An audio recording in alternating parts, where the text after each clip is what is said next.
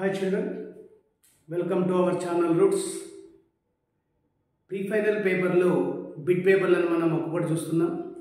Khammam district paper అయిపోయింది. ఇప్పుడు మనం రెండో పేపర్ యాదాద్రి భువనగిరి జిల్లా బిడ్ పేపర్ చూద్దాం. దీంట్లో కూడా మెయిన్ అప్లికేషన్ ఓరియంటెడ్ క్వశ్చన్స్ ఎక్కువగా ఇచ్చారు. ఇది పది బిట్లే కానీ మనం పద్నాలుగు పాఠాల నుంచి చదివి రాయాల్సిన బిట్లు కాబట్టి బేసిక్ అనేది ఎక్కువగా ఉంటే మనం స్కోర్ ఎక్కువగా చేయగలం. స్టార్ట్ చేద్దాం.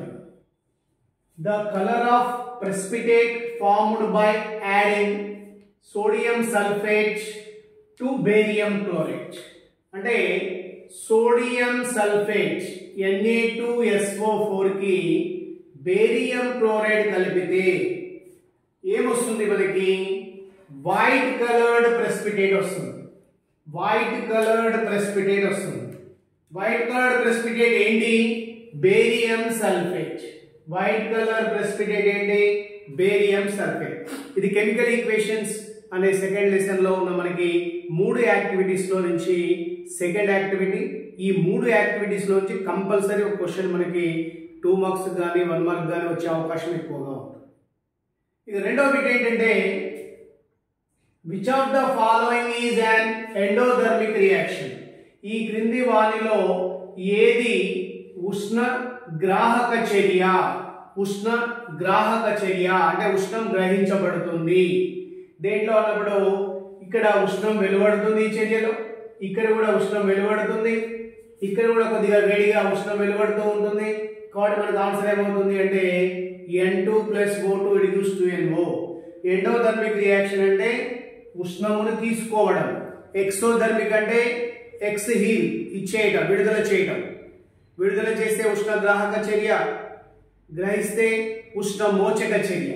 మిగతావన్నీ కూడా ఉష్ణగ్రాహక చర్యలు. ఇది ఒకటి చర్య దీన్ని మనం ఎండోధర్మిక్ రియాక్షన్ అంటాం. ఇక మూడవది ఏంటి అంటే ఒక సమీకరణం ఇచ్చారు. ఆల్రెడీ మనం ఖమ్మం డిస్టిక్ పేపర్లో దాన్ని చూసాము. ఈ సమీకరణాన్ని తుల్యం చేస్తే ఏ సమీకరణం ఇచ్చారు మనకి? ప్రోపేన్ దహన చర్య. ప్రోపేన్ దహన చర్య తీసుకున్నప్పుడు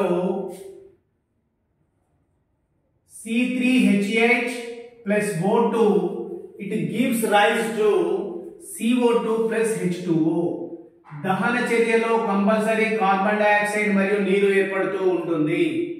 ఇక్కడ కార్బన్లో మూడు ఉన్నాయి కాబట్టి మనం ఇక్కడ ఏం చేస్తాము అంటే ఇక్కడ మూడు తీసుకునే అవకాశం ఉంటుంది. మూడు కార్బన్లు అయ్యాయి హైడ్రోజన్లు ఎనిమిది ఉన్నాయి కాబట్టి ఇక్కడ మనం నాలుగు పెడితే నాలుగు రెండు ఎనిమిది హైడ్రోజన్లు సరిపోతున్నాయి. ఇక ఆక్సిజన్ మూడు రెండు ఆరు నాలుగు ఒకట్ల నాలుగు పది ఆక్సిజన్లు అయ్యాయి. ఇక్కడ రెండే ఉన్నాయి వాటి ఇక్కడ ఐదు పెట్టారు. అంటే ఎక్స్ ప్లేస్లో ఎంత వస్తుంది? ఫైవ్ వస్తుంది. ఎక్స్ ప్లేస్లో ఎంత వస్తుంది? ఫైవ్ వస్తుంది.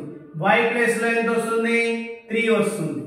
జెడ్ ప్లేస్లో ఎంత వస్తుంది? ఫోర్ వస్తుంది five three four five three four కాబట్టి ఆప్షన్ మనకి ఏమవుతుంది అంటే ఇది ఆన్సర్ అవుతుంది. అంటే మనకి ఇక్కడ కెమికల్ ఈక్వేషన్ నుంచి రెండు క్వశ్చన్స్ వచ్చాయి. ఒకటేమో ప్రెసిపిటేట్ రియాక్షన్ ఒకటేమో బ్యాలెన్సింగ్ ఈక్వేషన్ ఇంతకుముందు మనకి మోడల్ పేపర్లో కూడా బ్యాలెన్సింగ్ ఈక్వేషన్ ఇచ్చాడు.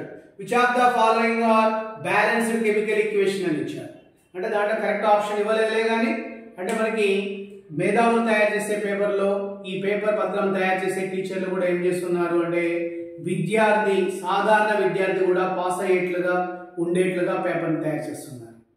మనకు అనుకూలంగా చేస్తున్నారు కాబట్టి మనం కూడా ఏంటి అంటే ఉన్న సబ్జెక్టుని కాన్సెప్ట్ ఓరియంటెడ్గా చదువుకుంటే బాగుంటుంది. ఇక్కడ ఏంటి బ్యాలెన్సింగ్? ఈ బ్యాలెన్స్ తుల్యం చేసేటప్పుడు క్రియాజనకాలలో ఉన్నాయి అంటే రియాక్టెంట్స్లో ఉన్నవి ప్రోడక్ట్లో క్రియాజన్యాలలో ఉన్నాయి కూడా సమానంగా ఉండాలి అనే అంశాన్ని గుర్తుపెట్టుకోవాలి. ఇది ఏ నియమం ప్రకారము? కన్జర్వేషన్ ఆఫ్ మాస్ ద్రవ్య నిత్యత్వ నియమము. ద్రవ్య నిత్యత్వ నియమం. ఇక నాలుగో క్వశ్చన్కి వచ్చినప్పుడు the correct assigning order of reactivity of metals reactivity of మెటల్స్లో correct order ఏంటి?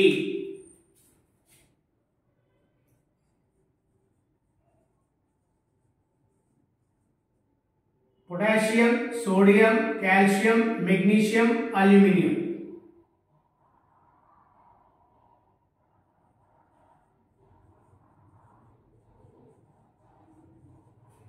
Zinc ferrous lead copper.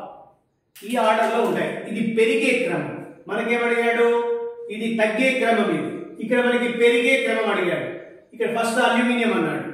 అల్యూమినియంకి very good తక్కువ ఉంటుంది. అల్యూమినియం తర్వాత ఎవరు? మెగ్నీషియం. మెగ్నీషియం తర్వాత ఇటు రావట్లేదు.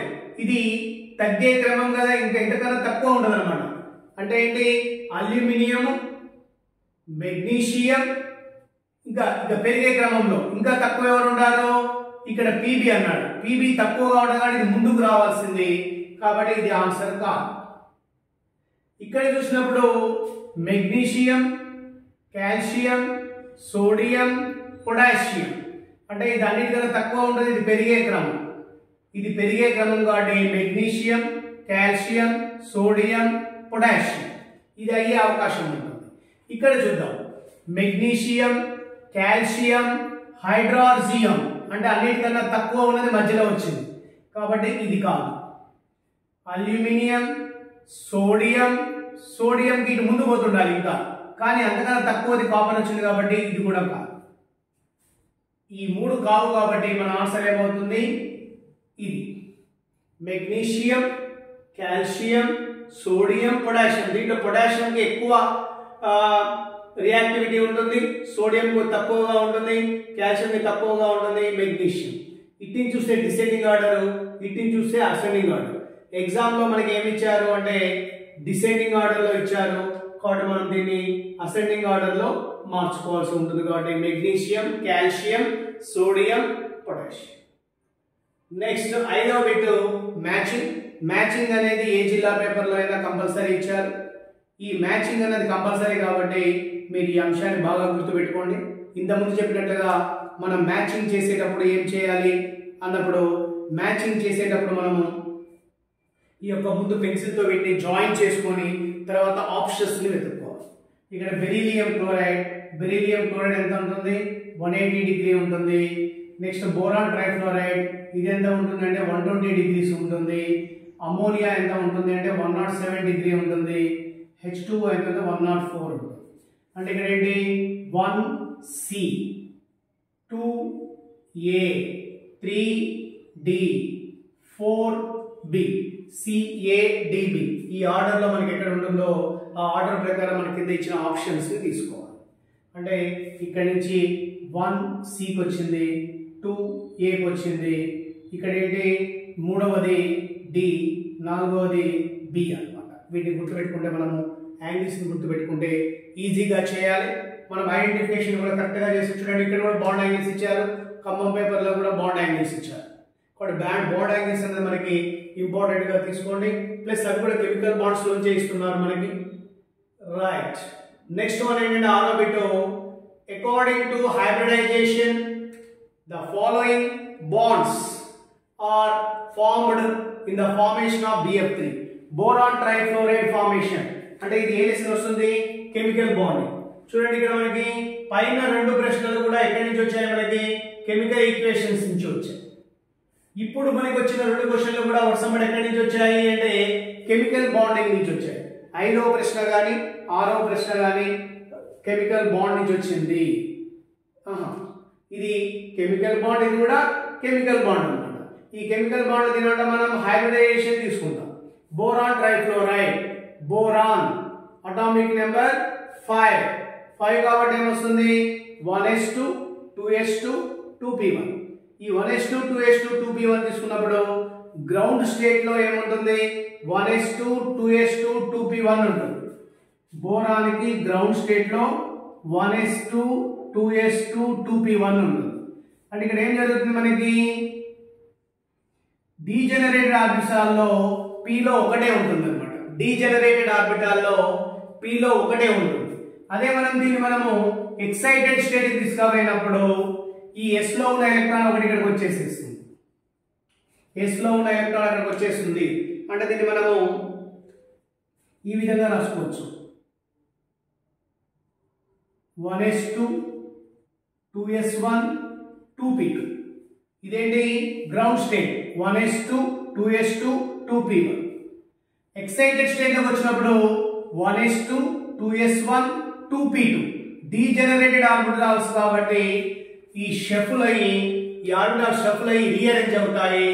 అంటే ఒక ఎస్ పి టూ వస్తుంది. S P two S P two అంటే మనకు ఆన్సర్ ఏమవుతుంది అంటే బి ఆన్సర్ అవుతుంది.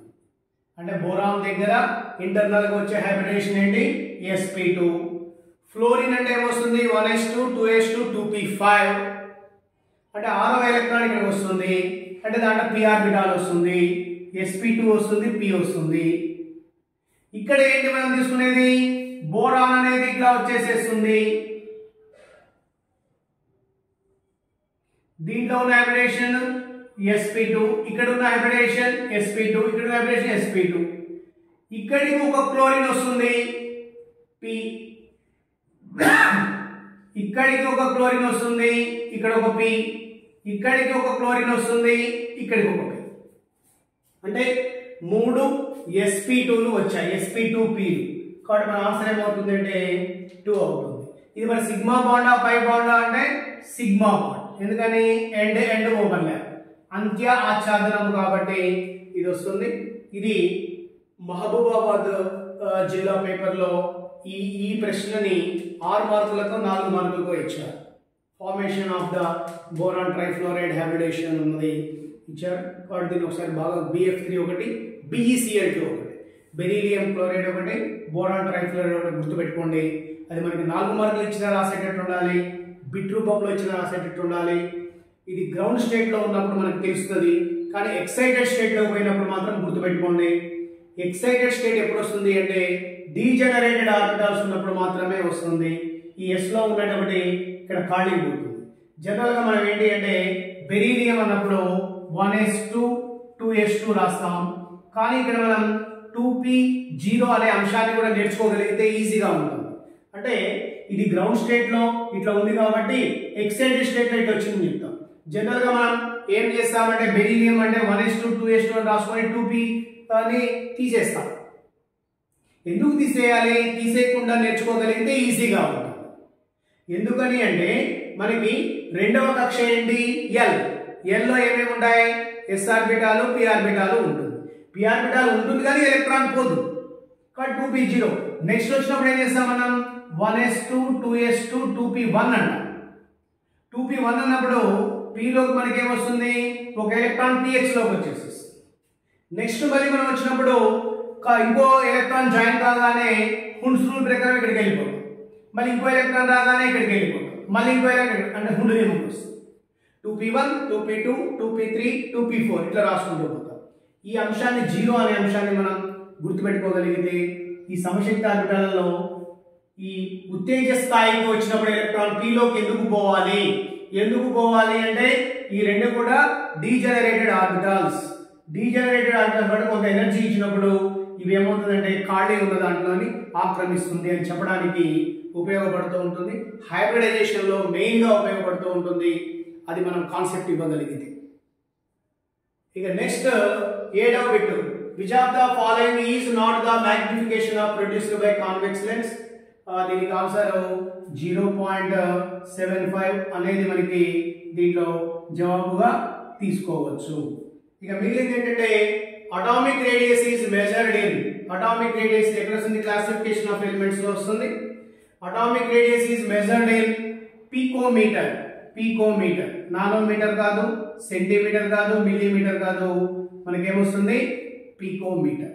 ఇక నెక్స్ట్ ఏంటి అంటే తొమ్మిదవ బిట్ అంటే ఇక్కడ కొద్దిగా ఆర్డర్ చేంజ్ చేసి తీసుకుందాం మనం. ఇక్కడ ఆర్డర్లో మనం తొమ్మిదవ బిట్ చూస్తే ఏముంది? Which of the following element have high electron affinity అంటే which of the following element have high electron affinity అయి ఎక్కువ అధిక ఎలక్ట్రాన్ ఎఫినిటీ కలిగిన మూలకం ఏది? అధిక ఎలక్ట్రాన్ ఎఫినిటీ కలిగిన మూలకం ఏది అంటే క్లోరిన్. అధిక ఎలక్ట్రాన్ ఎఫినిటీ కలిగిన మూలకము క్లోరిన్.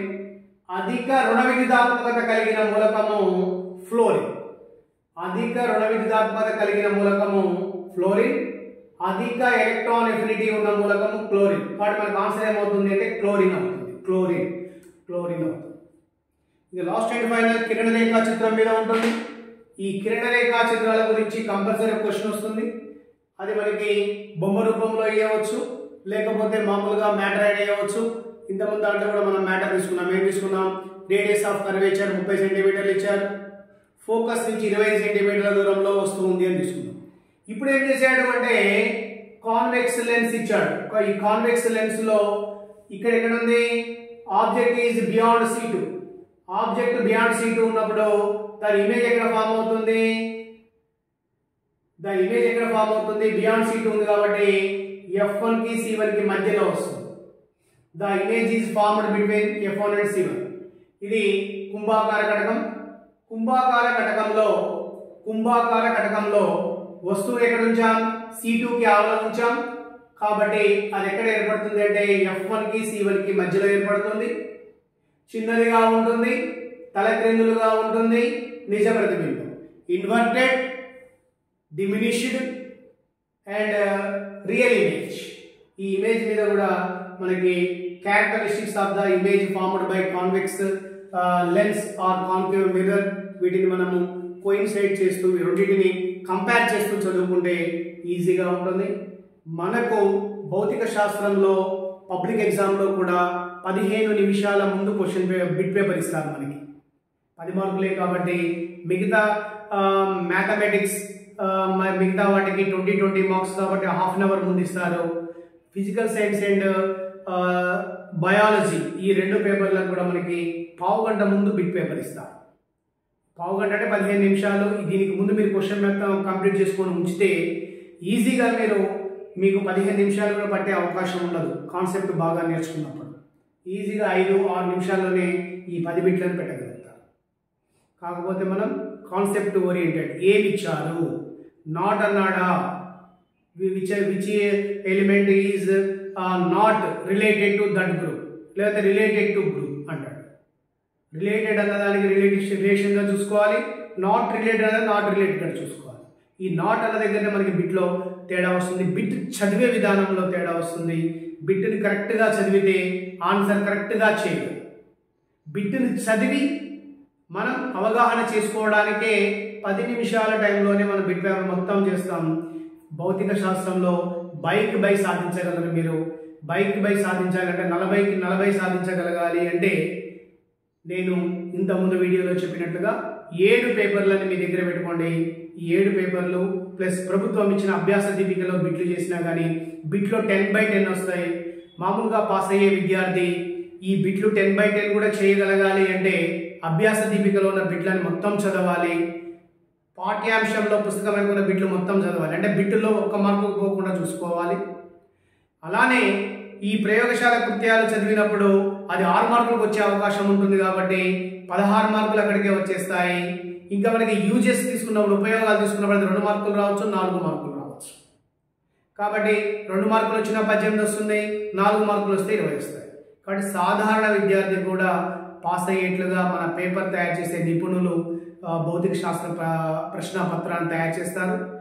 కాబట్టి మనం దానికి ఆన్సర్ చేసే విధానాన్ని బట్టే ఉంటుంది. మనం కరెక్ట్గా ఆన్సర్ చేయగలగాలి సరి అయిన సమయంలో సరి అయిన బిట్ పెట్టాలి ఆ బిట్ పేపర్లో కొట్టివేతలు లేకుండా చూడాలి. ఎగ్జామ్ ఎలా రాయాలి? ప్రతి ఎగ్జామ్కి ఎలా ప్రిపేర్ కావాలి అనే దాని మీద మనం ఇంకొక వీడియోలో చర్చిద్దాం. All the best